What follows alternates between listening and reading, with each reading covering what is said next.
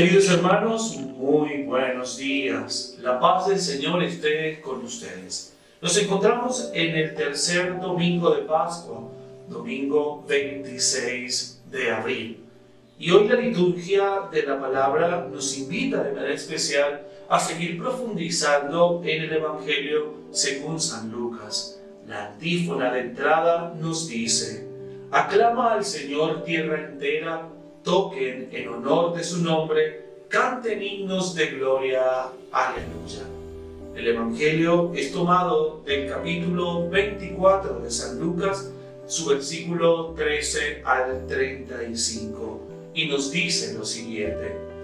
El mismo día primero de la semana, dos de los discípulos iban a un pequeño pueblo llamado Emmaús situado a unos 7 kilómetros de Jerusalén. En el camino iban hablando de todo lo que había ocurrido.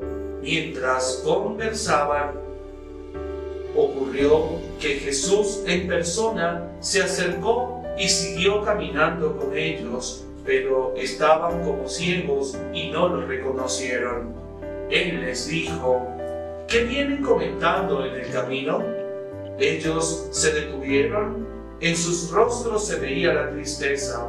Uno de ellos, llamado Cleofás, le respondió, Tú serás el único forastero en Jerusalén que no se ha enterado de lo que pasó allí en estos días. ¿Qué pasó? le preguntó Jesús. Ellos respondieron, lo de Jesús de Nazaret era un profeta poderoso en obras y palabras delante de Dios y todo el pueblo y nuestros sumos sacerdotes y nuestros jefes lo condenaron a muerte y lo crucificaron. Nosotros esperábamos en que Él fuera el libertador de Israel. Y además de todo eso, ya van más de tres días que sucedieron estas cosas. En verdad que algunas mujeres de nuestro grupo nos han dejado sin saber qué pensar. Fueron de madrugada al sepulcro y al no hallar el cuerpo de Jesús, volvieron diciendo que se les había aparecido unos ángeles y les habían asegurado que Él está vivo. Algunos compañeros nuestros fueron al sepulcro y encontraron todo como las mujeres le habían dicho, pero a Él no lo vieron.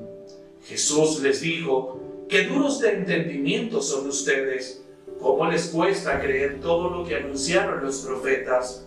¿No ven que era necesario que el Mesías soportara esos sufrimientos para entrar en su gloria? Y comenzando por Moisés y continuando en con todos los profetas, les explicó todo lo que las escrituras a él se referían. Cuando llegaron cerca del pueblo donde iban, Jesús, además de seguir adelante, pero para ellos le hicieron fuerza y le dijeron, quédate con nosotros, que es tarde y va a anochecer. Él entró y se quedó con ellos, y estando en la mesa, tomó el pan y pronunció la bendición. Luego lo partió y se lo dio, y al punto se le abrieron a ellos los ojos y le reconocieron, pero él desapareció de su vista. Entonces se dijeron el uno al otro, ¿no es cierto que a lo largo del camino iba él encendiendo el fuego en nuestro corazón con sus palabras a medida que nos mostraba el sentido de las escrituras? En ese mismo momento se pusieron en camino y regresaron a Jerusalén. Allí encontraron reunidos a los once y a los demás compañeros que estaban diciendo, en verdad el Señor resucitó y se apareció a Simón. Ellos por su parte contaron lo que les había pasado en el camino y cómo se les había dado a conocer al partir el pan. Palabra del Señor. Gloria a ti, Señor Jesús.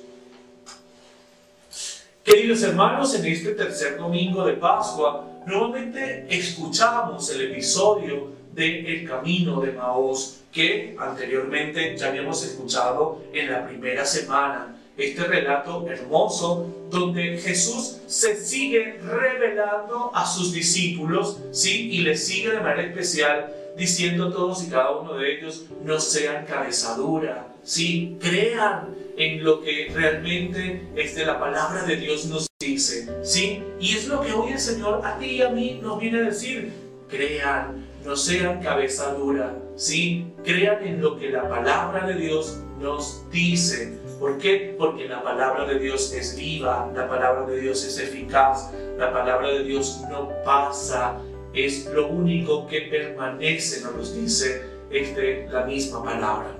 Entonces, queridos hermanos, este relato del Evangelio del día de hoy, pues busca de manera especial este, que nosotros podamos de una u otra forma también tener una interpretación clara de lo que realmente significa y es para nosotros las escrituras.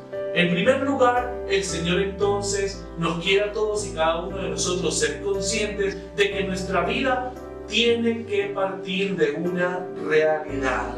Y la realidad específica de los discípulos y de los apóstoles en ese momento era que estaba, eran temerosos, tenían miedo, ¿sí? estaban ocultos ¿sí?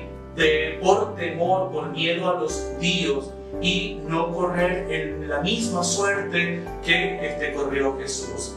Y entonces el Señor este, les, se les presenta y les hace de manera especial este, ver a todos y cada uno de ellos que todo lo que está escrito en la palabra de Dios tiene que cumplirse. Todo lo que está escrito en la palabra de Dios, queridos hermanos, tenía que pasar y debe pasar.